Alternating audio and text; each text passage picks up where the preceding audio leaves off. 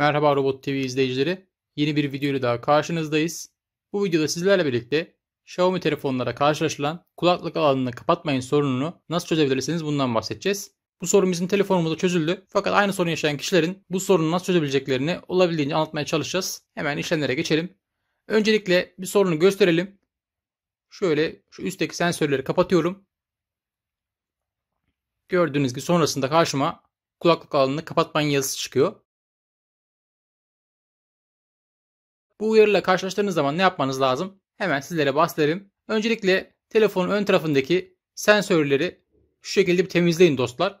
Çünkü öndeki sensörler kirlendiği zaman karşınıza bu uyarı gelebiliyor. Eğer öndeki sensörler temizse ve hala bu uyarı karşınıza geliyorsa öndeki sensörler bozulmuş olabilir. Ondan dolayı da bu sorunu yaşıyor olabilirsiniz. Peki öndeki sensörler bozulduysa veya bir türlü kulaklık alanını kapatmayın uyarısından kurtulamıyorsanız ne yapabilirsiniz hemen onu gösterelim. Öncelikle bir telefonumuzu açalım.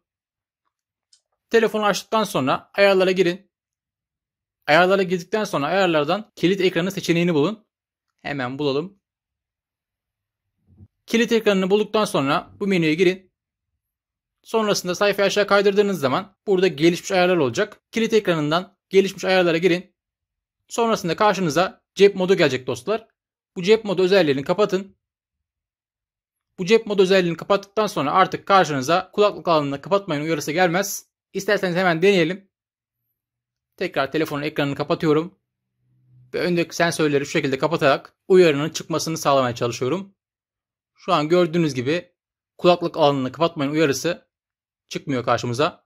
Bu işlemleri uygulayarak kulaklık alanını kapatmayın uyarısından kurtulabilirsiniz. Bir videonun daha sonuna geldik.